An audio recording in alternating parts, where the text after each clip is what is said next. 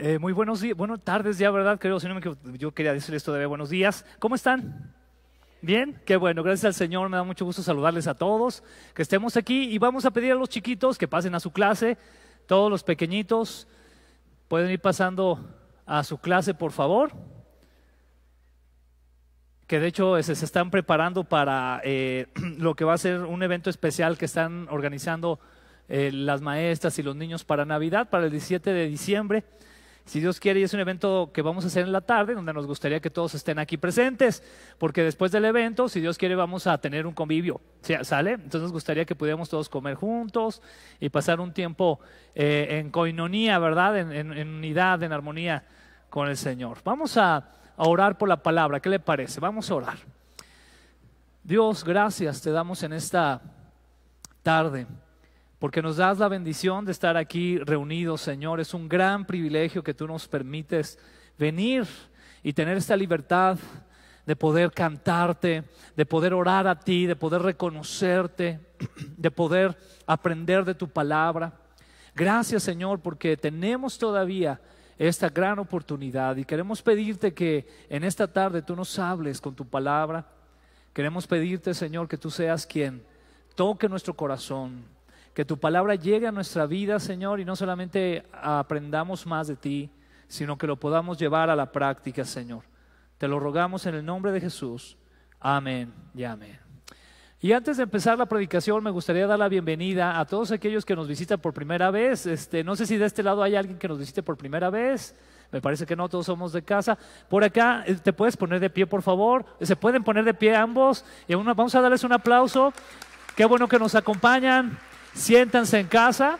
Esperamos que reciban mucha bendición del Señor y que no sea la última vez, sino que vengan muchas veces aquí con nosotros. Pueden tomar su lugar. Dios les bendiga mucho. Por aquí también de este lado nos acompaña el papá de nuestro hermano, eh, el hermano José, eh, de nuestro hermano Pac. Dios te bendiga, hermano José. Qué bueno que estás aquí con nosotros. Siéntete en casa. Nuestro hermano viene obviamente eh, aquí apoyando a Pac, como sabemos, hace una semana aproximadamente, pues tuvo un accidente, ¿verdad? Y, este, y ella está en recuperación. Nuestro hermano Pac es muy probable que él eh, eh, parta un tiempo con su papá eh, para que pueda tener el cuidado y la atención necesarios, ¿verdad? Y eso es lo precioso de la familia. ¿Cuántos dicen amén? Sí, que la familia podemos ayudarnos, podemos procurarnos, podemos estar al pendiente de nosotros. Así que usted siempre sea de bendición en su casa. Amén. Entonces, bienvenido hermano, que el Señor le bendiga mucho. Qué bueno que está aquí. Eh, de este lado, no sé si hay alguien que nos visite por primera vez. Me parece que también todos somos de casa. Y pues muy bien, entonces vamos a la palabra del Señor. Vamos a continuar estudiando el libro de Segunda de Corintios. ¿Cuántos han sido bendecidos con este libro? Amén. Somos bendecidos con la palabra del Señor y sin duda también eh, lo que el Señor nos va mostrando en relación a esta iglesia de los Corintios. El día de hoy el tema es entendiendo nuestra responsabilidad. Dile que tienes ahí al lado, tienes que entender tu responsabilidad. Es muy importante eso, que como creyentes podamos entender la gran responsabilidad que tenemos en Cristo. Y quiero comenzar esta predicación. Hoy vamos a estar en el capítulo 5, versículos del 11 al 21, pero voy a iniciar con el versículo 10, el último versículo que vimos la semana pasada. Este versículo que nos dice lo siguiente. Pues todos tendremos que estar delante de Cristo para ser juzgados.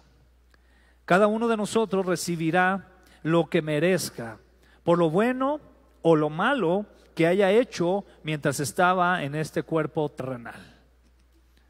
Cada uno de nosotros.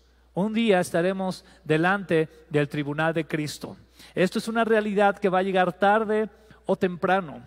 Y es una realidad donde se nos va a juzgar directamente por nuestro Señor Jesucristo de aquello que hayamos hecho bien y de aquello, esa es la parte que nos debe de asustar, que hayamos hecho mal. Porque pareciera ser que durante el caminar como creyentes, cuando tenemos un llamado por el Señor, hacemos cosas mal. No entendemos, no alcanzamos a comprender cuál es el llamado que Dios nos ha dado. A veces no tenemos muy en claro cuáles son esos dones, esos talentos que Dios ha establecido en nosotros. A veces alargamos o tomamos demasiado tiempo para decidirnos a dar pasos de fe para servir al Señor. Y eso un día será juzgado. Eso dice la escritura. A veces queremos ver el tribunal de Cristo como un lugar donde solamente recibiremos los premios, las coronas, los galardones, pero es, así, vamos a recibir galardones y vamos a recibir coronas, pero también, como dice aquí Pablo, vamos a ser juzgados también por lo malo que hayamos hecho. Eh, qué importante es entonces el poder reflexionar en nuestra vida como creyentes y entender si estamos haciendo bien las cosas para el Señor o las estamos haciendo mal. Quiero que te quede muy claro esto, porque para el Señor, con lo que dice aquí, podemos estar haciendo las cosas bien o las podemos estar haciendo mal. Y es algo que a veces nos cuesta trabajo reconocer. En ese contexto que Pablo está dando, es que vamos a iniciar ahora con el versículo 11. Y fíjate muy bien cómo inicia este versículo. Dice, dado que entendemos nuestra temible responsabilidad ante el Señor. Coma, trabajamos con esmero para persuadir a otros. Me quiero detener un poco ahí. Porque la primera parte que menciona aquí el versículo 11 es, dado que qué, que entendemos nuestra, y usa una palabra muy interesante, nuestra temible responsabilidad ante el Señor. A veces tenemos la responsabilidad ante el Señor como algo meramente eh, eh, sencillo al ser creyente, ah, sí es lo que yo hago para el Señor, ¿verdad? Es mi llamado, qué padre, me la paso muy bien, qué bueno que haya gozo, que haya alegría en eso, pero aquí Pablo está usando una palabra que lleva más allá esa responsabilidad que tenemos ante el Señor y es la palabra temible. Hoy está poco de moda también hablar de un Dios temible. Se quiere hablar mucho de un Dios de amor, un Dios buena onda, que te entiende, que te comprende, pero poco de un Dios que hay que temerle un Dios temible. Y mucho menos se habla de responsabilidad ante Él. Tú y yo como creyentes, al haber sido redimidos, adquirimos una responsabilidad ante Él. ¿Cuántos dicen amén? Tenemos una responsabilidad ante el Señor. Dice enseguida el versículo, Dios sabe que somos sinceros. Aquí está hablando Pablo defendiendo su postura ante los corintios y dice, y espero que ustedes también lo sepan. Versículo 12, ¿estamos de nuevo recomendándonos a ustedes? No, estamos dándoles un motivo para que estén orgullosos de nosotros, para que puedan responder a los que se jactan de tener ministerios espectaculares en vez de tener un corazón sincero. Qué interesante es ver todo esto que el apóstol Pablo le está dejando muy en claro a la iglesia de los Corintios donde les habla acerca de una responsabilidad que hay que llevar con temor delante del Señor, pero también les está diciendo que esa responsabilidad al llevarla de esa manera debe de causar en el buen sentido orgullo a la iglesia. No hay una iglesia que se pueda sentir mejor de una manera muy estable, muy óptima, que aquella que sirve. No solamente una iglesia que es, como decía por ahí un pastor, cadochera, ¿verdad? De cada domingo estar en la iglesia y ya, sino una iglesia que busca en conjunto, de acuerdo al llamado, a la visión local, servir al Señor. Una visión local que es parte de la visión universal del Señor. Hay que entenderlo de esa manera. No estamos hablando de que somos la única iglesia y que nosotros tenemos, este, ¿cómo se llama? Lo, mejor de lo mejor en las iglesias de Aguascalientes. No, todos somos el cuerpo de Cristo. Amén, ¿está de acuerdo? Pero como una iglesia local, como una iglesia local, nosotros debemos de entender esa responsabilidad y al trabajar esa responsabilidad, entonces estar contentos con lo que estamos haciendo para el Señor. Porque si hay un descontento, entonces quiere decir que algo está mal. Y puede ser algo muy en lo particular o algo como iglesia. Y ahí es donde hay que prestar mucha atención. La realidad también es que un día estaremos entonces dando cuentas. Yo quiero que pienses ahorita en este ejemplo. ¿Cuántos de aquí tienen jefe en el trabajo o han tenido jefes en el trabajo? Sí, ¿verdad que sí? ¿Qué pasa cuando el jefe te llama a la oficina? Y, más cuando nunca te habla, ¿verdad? Pero de repente surge que este, te hablan, oye, ¿qué es el jefe que vayas? ¿Qué sientes en tu corazón? ¿Qué viene a tu mente? Mm, ¿Qué me va a decir, verdad? Si has estado haciendo las cosas bien, atención, seguramente vas a ir con tranquilidad. Porque a lo mejor vas a pensar, bueno, a lo mejor me va a dar este, un aumento de sueldo, o me va a dar un mejor puesto, eh, me va a felicitar, algo así. Pero si has estado haciendo las cosas mal y tú lo sabes, al llegar con ese jefe, ya vas con un nervio, ¿no? O sea, ¿qué me va a decir? ¿Me va a regañar? Eh, ¿Me van a correr? ¿Me van a bajar el sueldo? ¿Me van a bajar de, de puesto? ¿Qué va a suceder?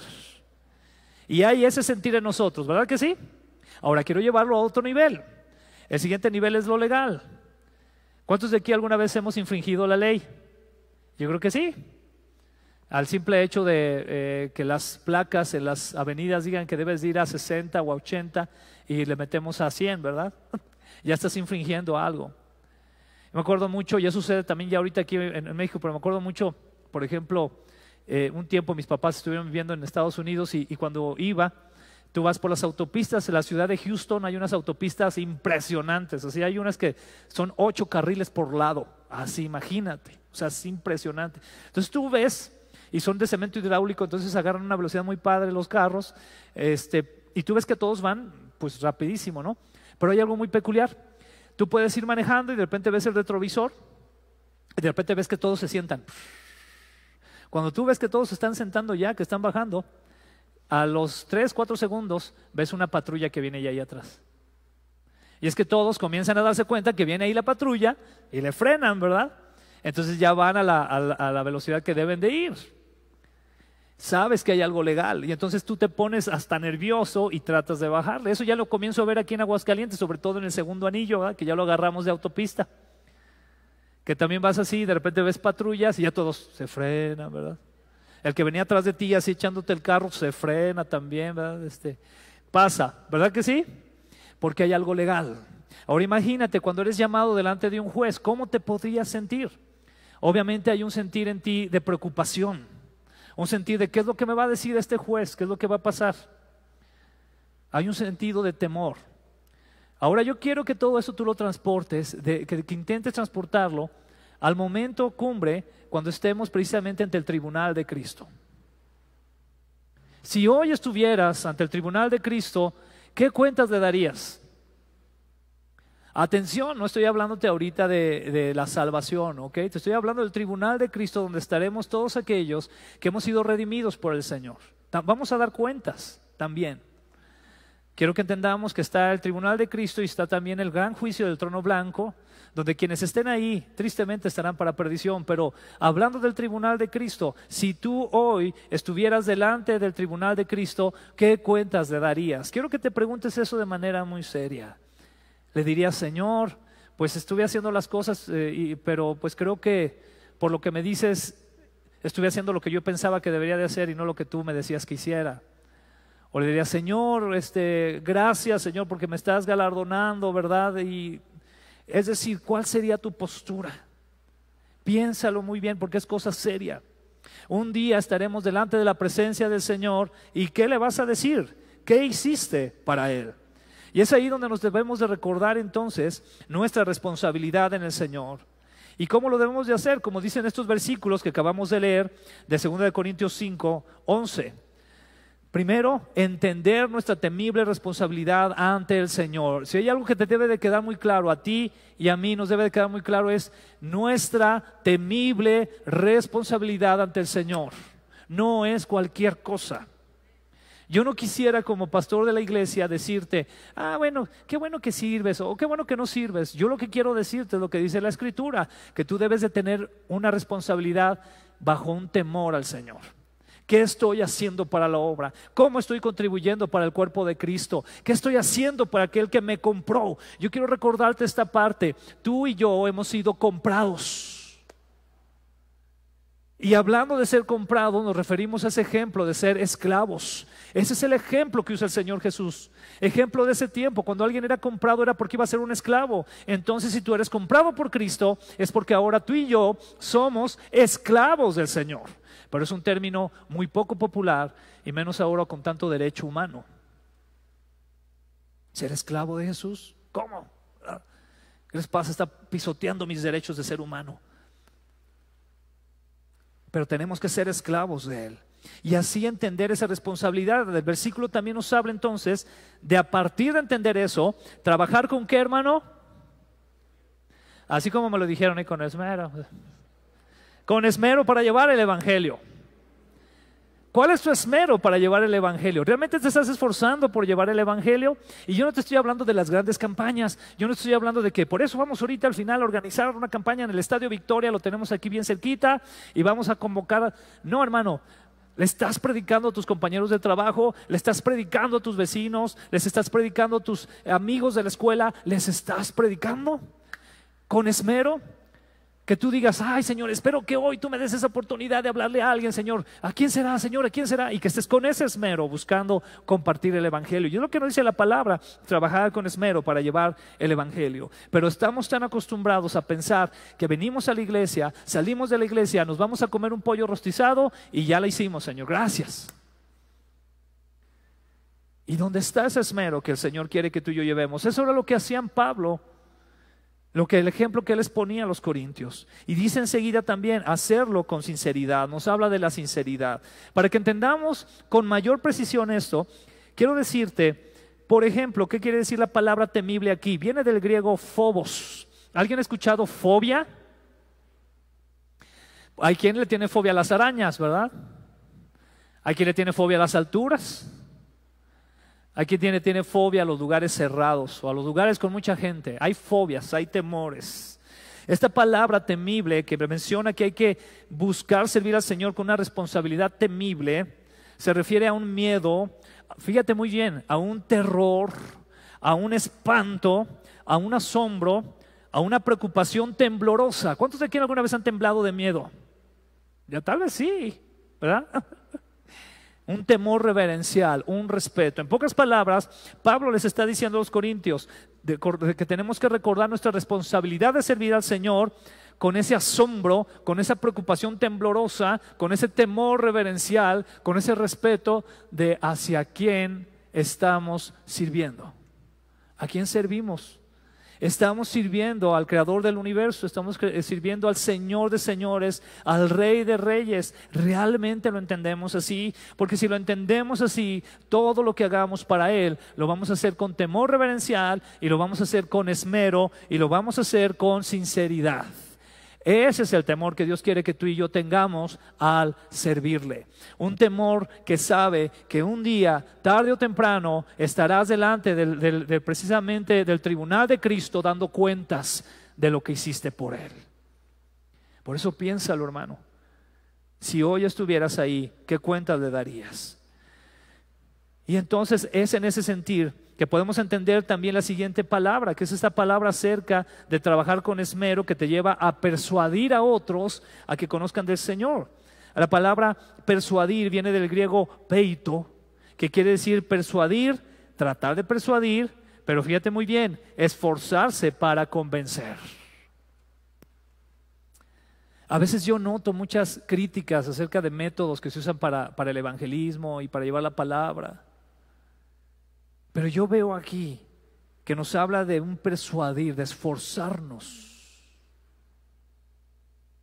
Hay un ministerio muy precioso, ¿verdad? Este que es el del Samaritan's uh, Purse, se llama. Es un ministerio a nivel internacional. Ellos eh, vienen de Canadá y Estados Unidos y regalan trailers completos con cajitas de juguetes para los niños, que es algo parecido a lo que queremos hacer con, con mi mejor regalo aquí en la iglesia. Y entonces, ¿qué sucede? Que llevan esas cajitas, les hacen algo a los niños, les ponen inflables, les ponen este, juegos y les llevan el Evangelio. Pero yo he escuchado gente que dice, ay, es que todo eso para qué, si lo que hay que hacer es nomás llegarles y decirles que este, eres un muerto si no estás en Cristo y hasta que vengas en Cristo vas a estar en vida y si entendieron bien y si no, que se vayan. Eso no es lo que dice aquí Pablo. Pablo está hablando de persuadir. Y persuadir requiere tiempo requiere maneras y requiere técnicas. Eso es lo que trata la apologética en cierta manera. El persuadir a la gente, a la gente que te dices que no hay un Dios. Tú tienes dos opciones, una decir, ah, ah bueno, entonces eh, sigue con tu vida. O la otra decir, Deja, dame un minuto para poder platicar contigo, porque vas a intentar persuadirlo. Pero realmente ese es nuestro esfuerzo. Sabemos que es importante, nos queda muy claro que el que convence es el Espíritu Santo, lo sabemos, amén. Pero ¿a quién usa el Espíritu Santo? ¿Un ángel o a ti? A ti. Dice la palabra, ¿y cómo irán si nadie les predica? Tú tienes que ir y tienes que esforzarte para que conozcan de Cristo. Mira, va a haber gente con la que vas a tener que ser muy paciente y hasta después de muchos años van a entender el Evangelio y van a venir a los pies de Cristo. Tenía un amigo en la universidad, eh, la carrera él de filosofía, imagínate. Y él tardó seis años para comprender el Evangelio. Hasta que un día llegó y platicó conmigo, ya después de que siempre le daba yo lata, por decirlo de alguna manera. Y un día me dice, ¿sabes qué? Ya no me digas más, ya lo entendí. Ya entendí que necesito a Jesús. ¿Así? Pero entonces había una de dos, el decir, ah, ya deja, ese cuate no entiende. O decir, bueno, Señor, la oportunidad es que tú me des, yo voy a tratar de llevarle el Evangelio. Persuadir. Eso es el trabajo con esmero. Ahora que viene lo de las cajas aquí en la iglesia, ¿verdad? Yo esperaría que todos podamos involucrarnos de alguna manera u otra. Que todos podamos estar aquí, que los pequeños que vengan no solamente se lleven un regalo con lo que vamos a alegrar su corazón y está bien, sino que se lleven lo mejor que es el Evangelio. Y no solamente ellos, sino sus papás. Recuerden que muchas familias han llegado a Cristo por medio de los chiquitos. Ellos primero vienen a Cristo y ya después los papás. Pero ¿lo vamos a hacer con esmero? Esa es la pregunta. ¿Lo vamos a hacer realmente buscando los medios para alcanzar a aquellos que necesitan de Cristo? En la misma música cristiana se habla de dos vertientes. Se habla de una vertiente vertical y de una vertiente horizontal. La vertiente horizontal de la música cristiana, si lo, si lo asemejamos a esta línea horizontal, se refiere a una música de mensaje que lleva el Evangelio para los demás. Y muchos creyentes, también cantantes cristianos, han sido criticados por eso porque los han visto demasiado seculares, pero ellos están tratando de trabajar por medio de la música, un medio de alcanzar a las personas. Muchas personas hemos sido alcanzados por la música, yo fui alcanzado por la música, gracias a Dios. He sido un medio de Dios. Y está la música también vertical, que se refiere muy claro lo vamos a tener en el libro de los Salmos, esa alabanza que honra a Dios. Podemos honrar a Dios con, la alabanza dando el Evangelio, pero también exaltando al Señor. Eso tenemos que tenerlo muy en claro. Pero a veces decimos, no, es que uno está mal, no, uno está bien. Hermano, si estás exaltando al Señor de una manera u otra, está bien. Porque estás exaltando al Señor. Imagínate que analizáramos todos los salmos y dijéramos, no, este salmo no habla del Evangelio porque nada más dice que el Señor es todopoderoso y ya. Hermano, estás exaltando al Señor. Y eso tenemos que tenerlo muy en claro, con una precisión muy clara. Y de ahí viene entonces el tratar de persuadir, el hacerlo con sinceridad. La palabra sinceridad es la palabra en griego faneró, que quiere decir poner en una luz clara, manifestar, mostrar, aparecer en verdadero carácter. Si hay algo que la gente quiere ver en el creyente es esta que decimos fanero, sinceridad sinceridad en el creyente.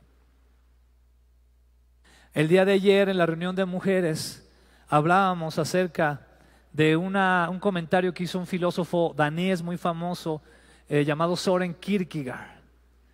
Famosísimo porque es, es prácticamente el padre del existencialismo. Y él decía que en su época lo que existía era un cristianismo insignificante, porque la gente realmente no representaba o daba a entender lo que es estar en Cristo, sino que vivían como querían y hacían lo que iban a la iglesia, pero tomaban sus propias decisiones y hacían lo que querían y no seguían la palabra del Señor.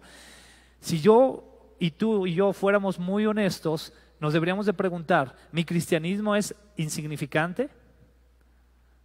Porque realmente vivo bajo mis reglas, hago lo que yo quiero, no sigo lo que el Señor quiere que haga, porque si tú estás viviendo así, entonces tu cristianismo no entra en esta descripción que habla Pablo. No es un cristianismo sincero.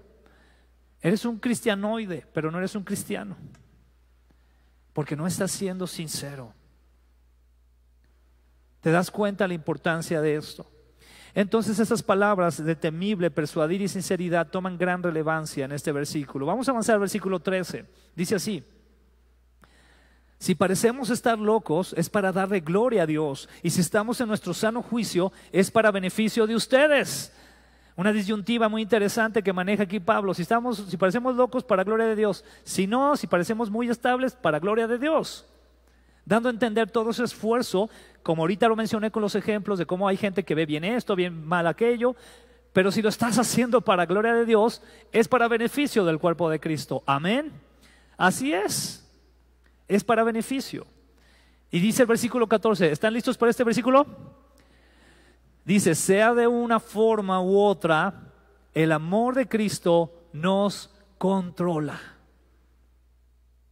Sea de una forma u otra, el amor de Cristo nos controla. La versión Reina Valeria dice nos constriñe. ¿Y a qué se refiere eso? Que precisamente tiene un control que te impulsa a hacer lo que Dios quiere que tú hagas. ¿Pero qué es? La ley de Dios es la religiosidad, es la tradición o es el amor de Cristo. Y con mucho amor, hermano, yo quiero que te preguntes, ¿qué es lo que me mueve a servir al Señor? El que realmente entiendo que Él me ha amado y el que yo lo amo a Él. ¿Qué me mueve a servir al Señor? ¿Qué me mueve a buscarle? Y entonces Pablo concreta esta idea con lo siguiente. Dice, ya que creemos que Cristo murió por todos, también creemos que todos hemos muerto a nuestra vida antigua. Si tú mueres a tu vida antigua, hermano, obviamente es por la gracia de Dios, pero no es porque tú quieras quedar bien con nadie de la iglesia, hermano. Quiero que eso lo tengas muy claro. Ni con ningún ministro, ni con ningún ministerio, sino con el Señor Jesucristo porque le amas, porque entiendes que es lo más importante, porque entiendes que te ha redimido y te ha redimido para usarte, para que tú respondas a un llamado y no solamente vivir un cristianismo de club social, sino vivir un cristianismo donde tú muestras ese amor y de una forma u otra somos controlados por el Señor. Si a ti y a mí nos gusta llevar el Evangelio de alguna manera, y nos gusta utilizar algún método en específico, gloria a Dios, Jesús nos controla, amén. Pero si hay otros hermanos que lo llevan de una manera diferente, ¿qué vamos a decir? Están mal. No, no, no, es que deberían de hacerlo de Living Waters, porque si no, no, nunca van a entender el Evangelio esas personas. A mí hay una parte ahí que yo le veo cierto peligro, porque a veces queremos como poner muy en alto el decir que si no hemos entendido el Evangelio de alguna manera, entonces nunca lo hemos entendido. Yo te quiero decir que yo conozco muchos hermanos en Cristo que nunca se les predicó el Evangelio como Living Waters y son más cristianos que tú y yo. Porque el Espíritu de Dios y el amor de Cristo es el que se encarga. Y alguien que tenía el amor de Dios y alguien que tenía el Espíritu Santo en su vida fue usado por Él para llevar el Evangelio a esa persona. Y es lo que dice aquí Pablo, sea de una forma u otra, el amor de Cristo que nos controla. Amén. Dice la palabra de Dios en Romanos 5:8. Mas Dios, es decir, hablando de qué hizo el amor de Cristo por nosotros, mas Dios muestra su amor para con nosotros en que siendo aún pecadores, Cristo murió por nosotros. Eso es lo que nos queda claro. Éramos pecadores y aún siendo pecadores, aún no mereciéndolo, Jesús murió por nosotros. ¿Cuántos dan gloria a Dios? Él murió por nosotros.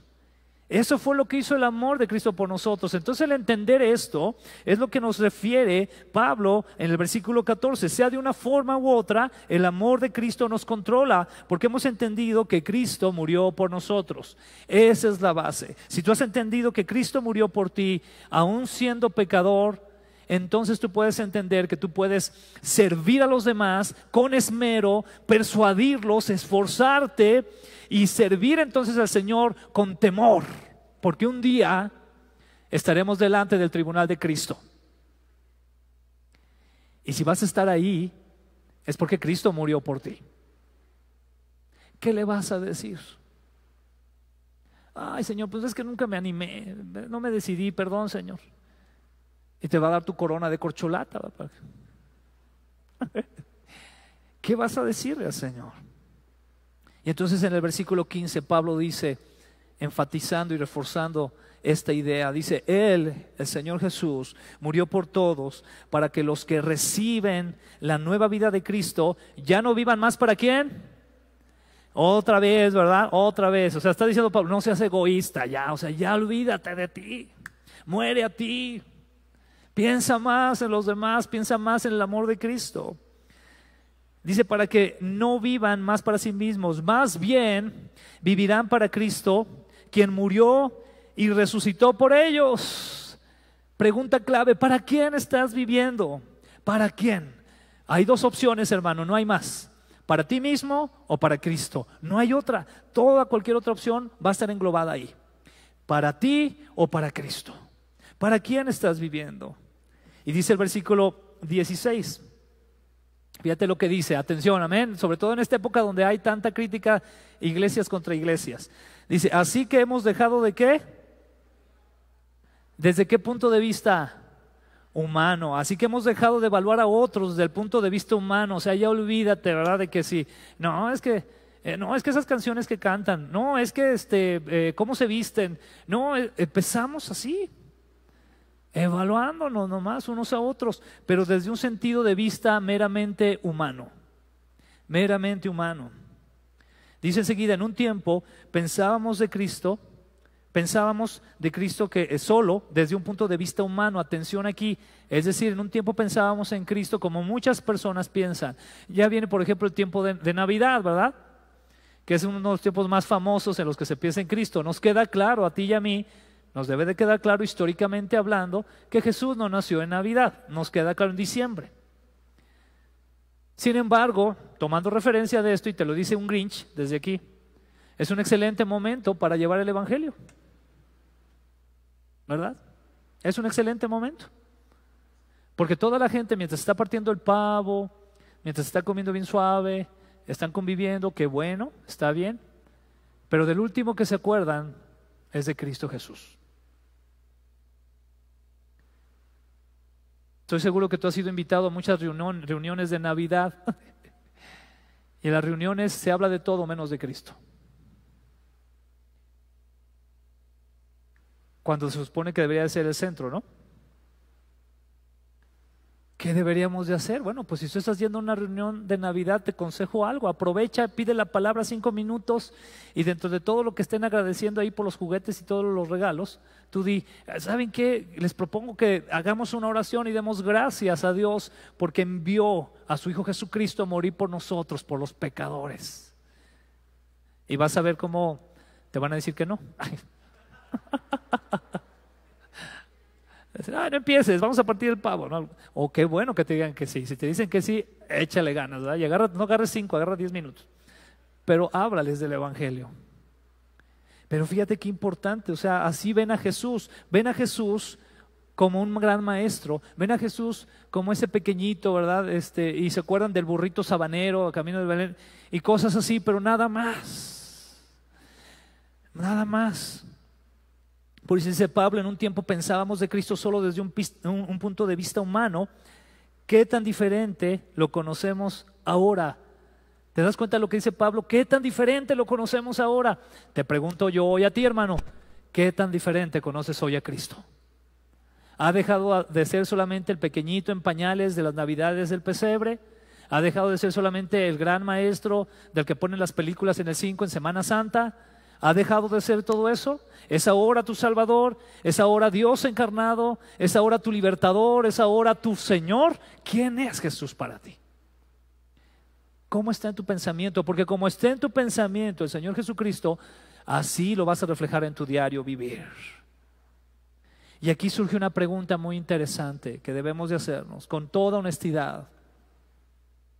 La pregunta es, ¿amas a los demás como Cristo ¿Te amo a ti?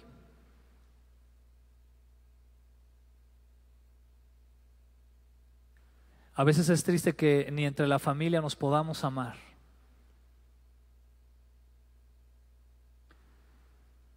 A veces es mucho más difícil pedir que ames a otra persona que no es ni de tu familia y te ha hecho un daño. Pero aquí te debes de poner a pensar, Cristo me ha amado a mí, que yo era un enemigo de Dios, era un pecador, una persona que iba en contra de los estatutos de Dios, un rebelde. Y Cristo me amó, como ya leímos ahí en Romanos, y demostró su amor, que aun siendo pecadores, murió por nosotros. Pregúntatelo honestamente, hermano. Tenemos que ser honestos. ¿Amas a los demás como Cristo te amó a ti? Ese debe de ser tu meta. Señor, es que me está costando amar a tal hermano, a tal persona, a tal miembro de mi familia. Señor, pero tú me has amado. Y me has amado mucho. Quiero que sepas que si tú y yo estamos aquí de pie, esto es muy serio, es porque el Señor nos ha amado. El que tú estés de pie en medio de todas tus situaciones de vida es porque Cristo te ama. Así estás amando a los demás. ¿Cómo amas a los demás? ¿Amas a los demás como Cristo te amó a ti? Versículo 17 dice lo siguiente. Esto significa que todo el que pertenece a Cristo se ha convertido en qué? En una nueva persona. Este famoso versículo, ¿verdad? La vida antigua ha pasado, una nueva vida ha comenzado. Si tú perteneces a Cristo, en teoría, debes de ser una nueva persona. Ya no debes de ser la persona de antes. Si antes eras de esos bien vengativos que te desquitabas del que te la hiciera y te la pagaba, ahora ya no debes de ser así. Si tú eras esas personas que guardabas amargura en tu corazón por décadas, al venir en Cristo, eso se debe de acabar. Porque el Alejandro que era, ya se murió. Y ahora está Cristo en mí y Él es el que debe de vivir.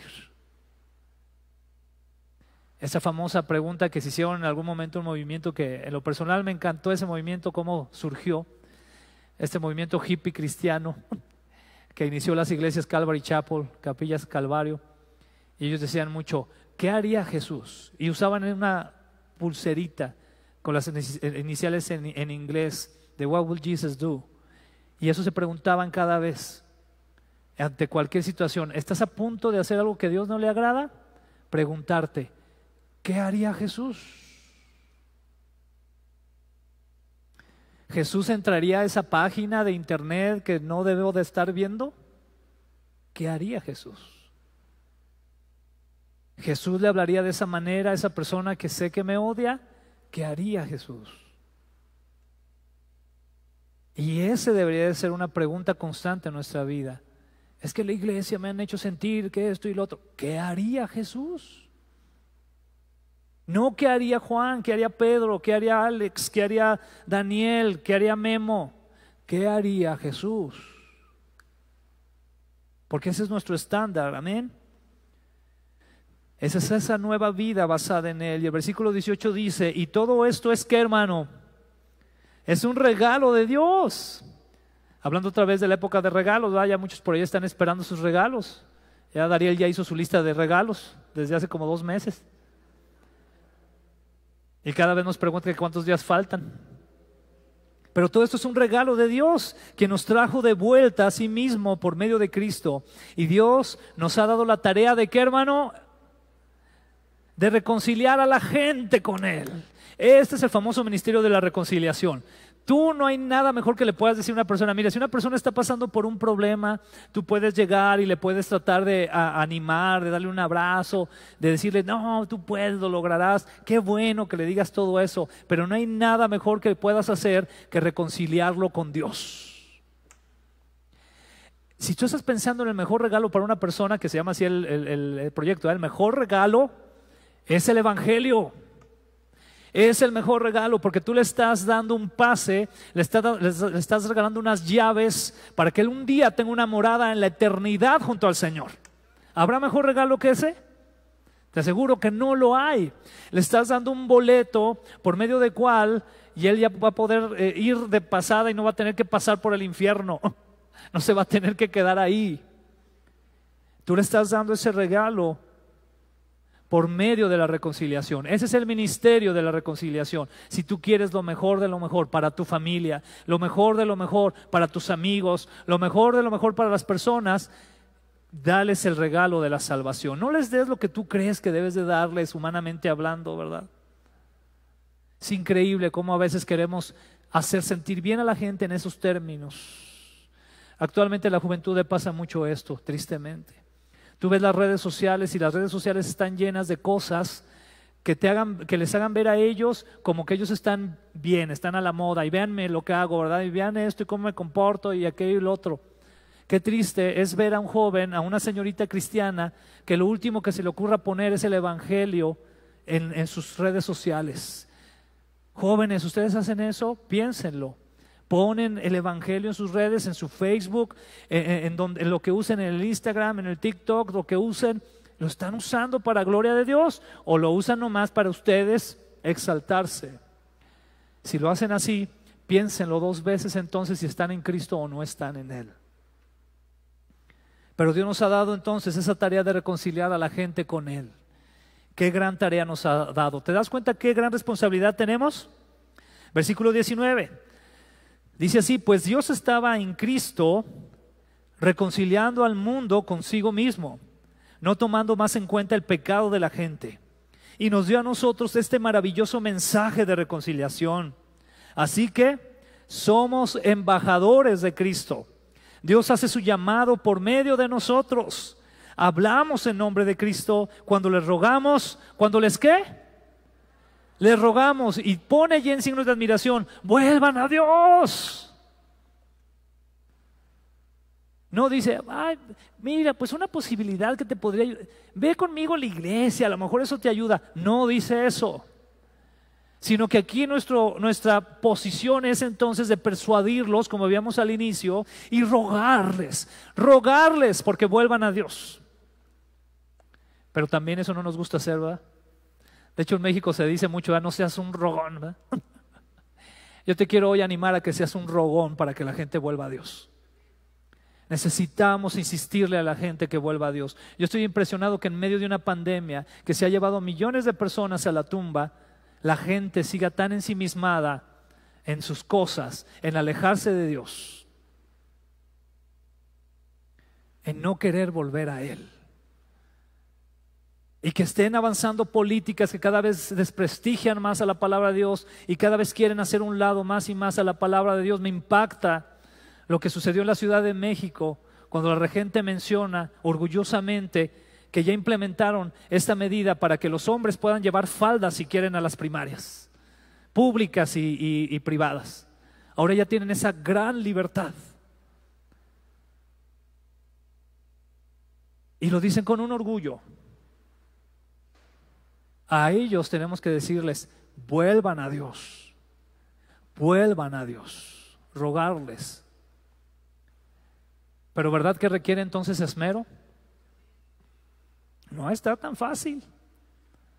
Porque muchos de ellos lo primero que van a hacer es criticarnos, clausurarnos este, mensajes, eh, una infinidad de cosas. Pero nosotros debemos de insistir en llevar el Evangelio y decirles que vuelvan a Dios.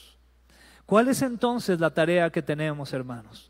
¿Cuál es esa tarea que el Señor nos ha dado? Primeramente, es reconciliar a la gente con Dios. Tú y yo debemos de vernos así, como reconciliadores para con Dios. La tarea es también ser embajadores de Cristo. Qué, tremendo, eh, qué tremenda responsabilidad y qué privilegio poder representar al Señor Jesucristo.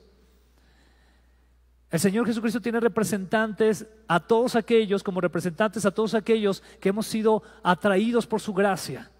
Somos representantes de Él. De hecho, tengo una noticia. Como la iglesia tradicional lo diría, no se necesita un solo representante. El hablar de un solo representante de Cristo es eliminarnos a todos los demás. Si tú has venido a Cristo, eres un representante de Jesús, eres un embajador de Cristo. Debes de serlo. La tarea es que Dios hace un llamado por medio de nosotros. Dios nos usa. Dios te usa a ti, me usa a mí. Eso debes de tenerlo muy en claro, independientemente de los dones, los talentos, el llamado que tú tengas, tú tienes que tener muy en claro que Dios te quiere usar a ti. Dile que tienes al lado, Dios te quiere usar. Dios te quiere usar. Y eso nos deja también en claro que hablamos entonces en nombre de Cristo. Qué tremenda responsabilidad. ¿Verdad que sí hay por qué temer? ¿Y por qué temblar, verdad? Estamos hablando en, a nombre del Señor Jesucristo. Qué tremenda responsabilidad. Y la tarea es entonces que le rogamos a la gente que vuelva a Dios. de una y otra manera, una y otra vez, rogarle a la gente que vuelva a Dios. A veces queremos que la gente entienda un montón de cosas, ¿verdad? Que, actualmente eh, de las que el mundo está bajo engaño. Pero lo primero que la gente debe de entender es que debe de volver a Dios. Versículo 21. Vamos ya cerrando. Dice así, pues Dios hizo que Cristo, quien nunca pecó, fuera la ofrenda por nuestro pecado, para que nosotros pudiéramos estar en una relación correcta con Dios por medio de Cristo. En otras palabras, después de que Pablo dice que les roguemos que vuelvan a Dios, nos está diciendo aquí que la gente debe de estar en una correcta relación con Dios por medio de quién? De Cristo. No es por medio de que hagamos buenos seres humanos, no es por medio de que hagamos personas con valores altos, no es por medio de que hagamos todo ese tipo de cosas que son buenas, es por medio de que las personas tengan una correcta relación con Dios. Te lo voy a poner de esta manera. Tú puedes tener un gran amigo. Piensa en un gran amigo que tengas, una gran amiga. Seguramente es tu gran amigo, tu gran amiga, porque piensan muy similar. Es lo más probable. ¿Estás de acuerdo? Les gusta el mismo deporte, les gustan los mismos libros, la misma música, la misma comida, y en todo eso se llevan bien, ¿no? Y tú dices, es mi gran amigo. Pero aquí hay una gran diferencia entre los dos. Él puede ser tu gran amigo y tú puedes tener paz con él, pero él puede no tener una correcta relación con Dios, que está solamente por medio de Cristo. Entonces el día que el Señor les llame a cuentas a ambos, tú sabes que por lo que el Señor ha hecho por ti, tú, tú vas con Él. Pero Él aún siendo tu mejor amigo, aún gustándole los deportes que a ti, la música que a ti, la comida que a ti, los pasatiempos que a ti, que tengas grandes conversaciones con esa persona, si esa persona no tuvo una relación correcta con Dios por medio de Cristo, tú sabes dónde va a terminar. ¿Qué será lo más importante? ¿Que a los dos les guste la misma comida? ¿Que a los dos les guste la misma música y que puedan charlar horas? Lo más importante es que puedan estar en la eternidad juntos.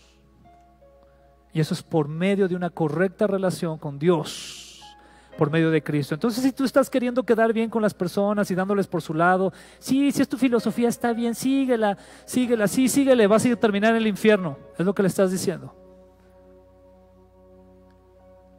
En vez de esforzarte, de rogarle, de esmerarte, de persuadirle para que venga Cristo y sabes que a lo mejor vas a perder su amistad en algún momento, en algún momento vas a decir, sabes que ya me caíste mal, ya. Pues ni modo, pierde, su amistad, pero te aconsejo algo, sigue orando por él. Porque a ti te interesa lo verdaderamente más importante, que él no se vaya al infierno. Si es que realmente ese es tu sentir. Ante esto, nos preguntamos lo siguiente. ¿Estoy haciendo mi tarea? Estoy rogándole a la gente que vuelva a Dios a través del Evangelio, a través del arrepentimiento. Estoy consciente de que un día estaré delante del tribunal de Cristo. Estoy consciente de a quién sirvo. Y finalmente, entiendo mi temible responsabilidad ante el Señor. Si nosotros fuéramos la iglesia de Corintios, ¿qué responderíamos ante todo esto que Pablo les expone? Cierra tus ojos, vamos a orar al Señor, amén. Señor, te damos muchas gracias en esta tarde por este privilegio tan grande, Señor, que realmente ni siquiera alcanzamos a comprender de estar delante de tu presencia, congregados con tanta libertad, no solamente aquí en un local, sino incluso con la libertad de las redes sociales y de poder recibir tu palabra, tu exhorto, para que nos esforcemos más para que entendamos que un día estaremos delante de tu presencia y te daremos cuenta, Señor, de lo que hicimos bien y de lo que hicimos mal. Que un día, Señor, te diremos si fuimos realmente, Señor, personas que rogamos a los demás que vinieran a ti, que se reconciliaran contigo por medio de Jesús. Señor, yo te ruego que como iglesia nos des cada día más y más la carga por el perdido, cada día más y más la carga de ser embajadores de Cristo, cada día más y más la carga de comprender el peso temible de un día estar delante de tu presencia y darte cuentas. Padre, por favor, por favor, ayúdanos, Señor. Llénanos de tu Espíritu Santo y ayúdanos a entender ese llamado. Llénanos de tu amor y ayúdanos a amar a los demás.